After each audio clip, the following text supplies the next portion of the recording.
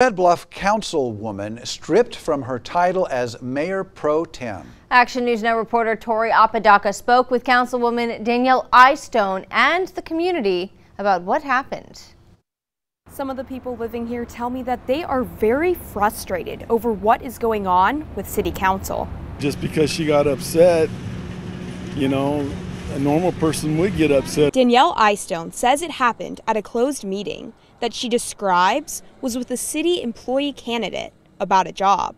And it was apparent that we were interviewing somebody that we don't have the authority to interview. Um, I, I, left a meeting. I by no means left it under um, well toned voice. I, I was very angry. It resulted in council voting to give her the boot from her title as mayor pro tem. But with that type of attitude, I feel that if the mayor's out of town, I don't want you running a meeting.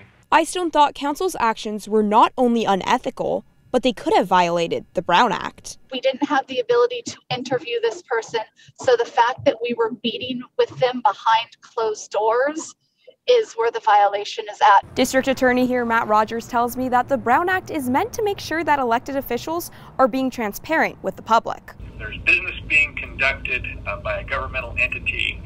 Uh, it needs to be discussed in public with everyone there. The public can comment and weigh in, and all of the members or a quorum of the members of the governing body um, are present. Eyestone will continue to serve on council and tells me she will continue to vote with the people's best interest in mind. But I don't see a cohesiveness that was once in place. I think there's going to be some um, frictions and people are not going to get along too good, and that's not good for the community. Rogers says that Eyestone hasn't filed anything with his office at this time, but if she does, they will investigate. In Red Bluff, Tori Apodaca, Action News Now, coverage you can count on. Eyestone adds that she's currently working with her attorney to bring something before the DA soon and will continue to serve as a council member.